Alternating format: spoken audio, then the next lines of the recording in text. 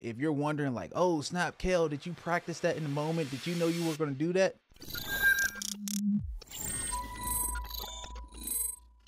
Hello, my name is Kell Bailey, and if this is your first time here, I need you to hit that like button and subscribe to my channel. Today, I'm going to be doing a quick breakdown of my viral King of Glory video that I posted on Instagram a few months back. Sheesh. Now, here's the thing. I haven't done a lot of chord breakdowns on this channel, and that's something that I want to do more of. And in the coming months, you're going to be seeing a lot more content of me breaking down my chords and stuff like that, because I believe that's like the number one question that people ask me. Hey, can you do a breakdown of this? Or, hey, I really, really want to learn from you. So I'm going to be sharing that here on YouTube and also my Patreon as well. If you want to join my Patreon, I share more content like this over there. So feel free to join my Patreon. That link is below. But let's get into the video. Yeah,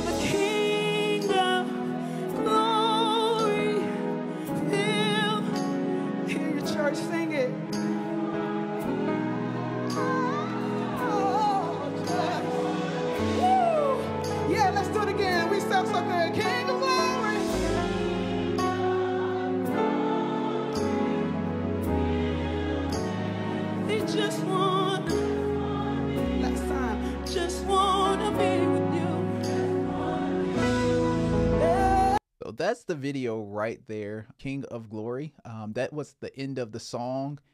And I was just thinking, how can I really create a lot of tension and how can I kind of do somewhat of a reharm to what um, the singer Shawnette is doing? And I think it turned out uh, good. Clearly, you guys responded to it pretty well. Um, again, that video is on my Instagram, but I'm going to do a quick breakdown of what I'm doing. And one of the reasons I wanted to do this as well is because a lot of you guys are trying to do a breakdown of what I did you're trying your best, but it's still kind of wrong. So I just kind of want to bring some clarity to what I'm doing. And here's another secret that I'll let you in on that many of you may not know.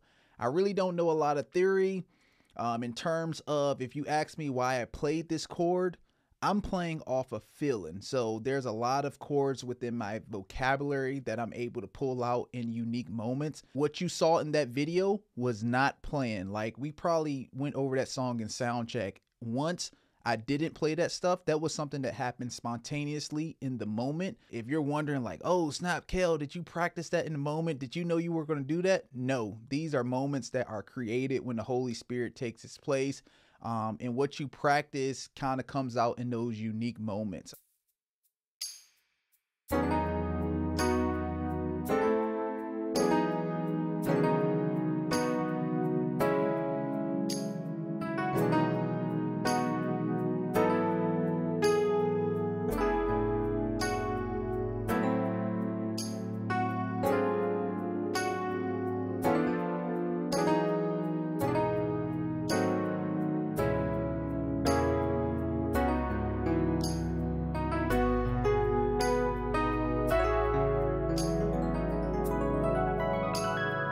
So that's pretty much what I did in that moment. Now, it's not exactly down to the T what I did, but overall, big picture, that's basically what I did.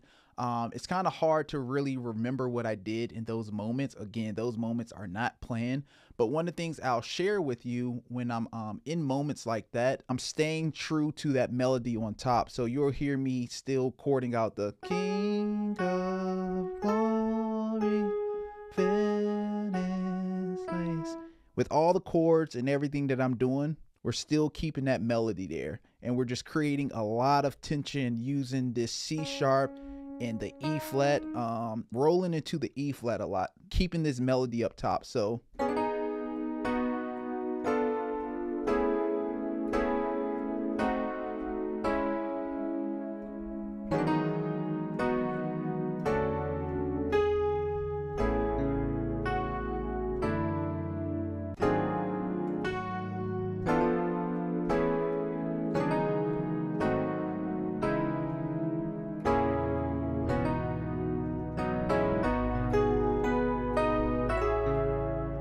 Again, keeping that melody there really kind of helps the singer stay on course. And though I'm doing a lot of tension chords, and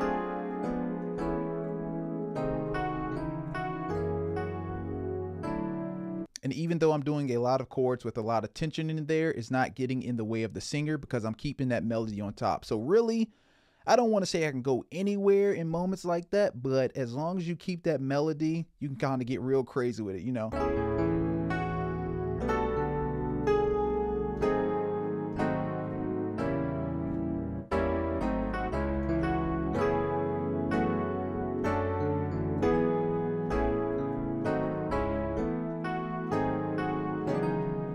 That's really where musical IQ comes in at as well, because you can have all of these chords in your vocabulary, but if your placement is wrong, if the way you're falling into chords is wrong, it doesn't matter if I show you all of these things. Another thing that I will leave you with is just because you have these chords in your vocabulary, you have to know when to pull it out. You have to know when to just keep the song regular and keep it basic. And you have to know when to, all right, this is my time to pull out some tricks that I've been working on, if that makes sense. So here's what I'm gonna do for you guys. I'm gonna make this MIDI and the loop that I just played available for you guys to get. Now, the only caveat to that is you're going to have to join my Patreon. Now, you can join my Patreon for free, but if you want to get access to the loop and the MIDI file, you're going to have to join under a paid membership. So click that link below.